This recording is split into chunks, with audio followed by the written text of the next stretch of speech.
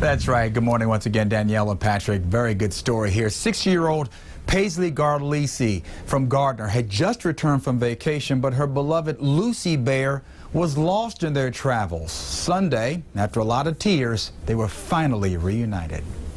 Hi, Paisley. I love you, and I miss you.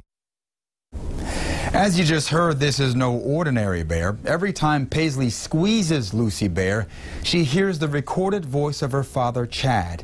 He's on his third deployment, serving with the Army National Guard in Kosovo. A post about the missing bear by our CBS affiliate in Boston, WBZ, was shared more than 3,000 times.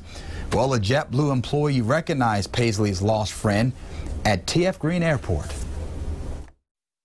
We were walking through the airport and it looked like American had this new little mascot at their baggage service. And I thought, how cute. And then um, I was scrolling through Facebook and I was like, I know that teddy bear. I just saw that. And so, how do you feel now? Happy. Happy? You got your girl back. Thank you very much. It's very much appreciated. TF Green Airport then reached out again to our CBS affiliate WBZ. The station then reached out to the family, which made, of course, the reunion possible. Happy ending. Reporting live in the newsroom, Todd Wallace, Eyewitness News.